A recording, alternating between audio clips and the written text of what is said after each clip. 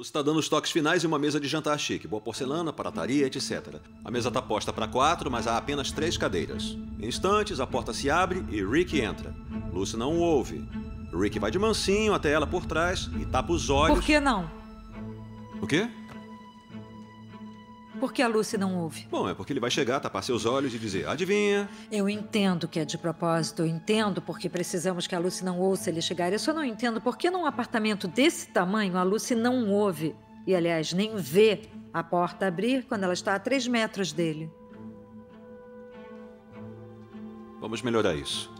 Obrigada. Rick vai de mansinho até ela por trás e tapa os olhos dela com as mãos. Adivinha quem é? Bill, Não, Ralph. Rick reage. não, sou eu. Ah, sim, é claro, é. Não, peraí. É pra dar a ideia de que o Rick acreditou mesmo que a Lucy não sabia que era Pra ele? que isso agora? Que o Rick acreditou que a Lucy não só não reconheceu a voz dele, que não se esqueçam, é inconfundível, mas que ele realmente acha que existem pelo menos sete outros homens que costumam entrar no apartamento dela? Ela está certa. Ela levantou umas quatro ou cinco questões muito boas. Tá, vamos melhorar a piada ou o Rick vai saber que a Lucy tá brincando. Tá. Podemos trocar os nomes. Pedro, Pablo, José. O quê? São nomes latinos. Nomes cubanos. Assim como você.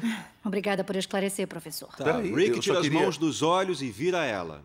Não, sou eu. Ah, sim, é claro, é. Ela estala os dedos e finge que não se lembra do nome dele. Muito engraçada. Rick a beija e repara na mesa posta. Visitas para o jantar? Aham. Quem vem? Lucy o ignora propositalmente. Gostou dos novos copos que eu comprei, Rick? Quem vem jantar conosco, Lucy? Você não acha que essa mesa está linda? Lucy responde. Umas pessoas. Lucy!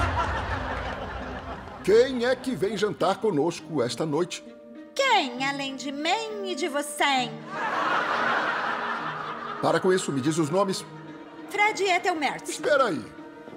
Mas você disse que o Fred e a Ethel brigaram feio e que estão de mal um com o outro. E estão. Você disse que eles não estão se falando. E não estão. E que ele foi dormir numa pensão. Ele foi. E que ela voltou a trocar a fechadura. Voltou. Bom, se eles estão e não estão, e ele foi e ela voltou, como fica? Bem. Lúcia Esmeralda Maquilica de Ricardo. Ah, eu gostei, mas será que o público já não se cansou? Vamos melhorar isso. Porque a gente quer manter o padrão de qualidade dos seus roteiros da Arqueo.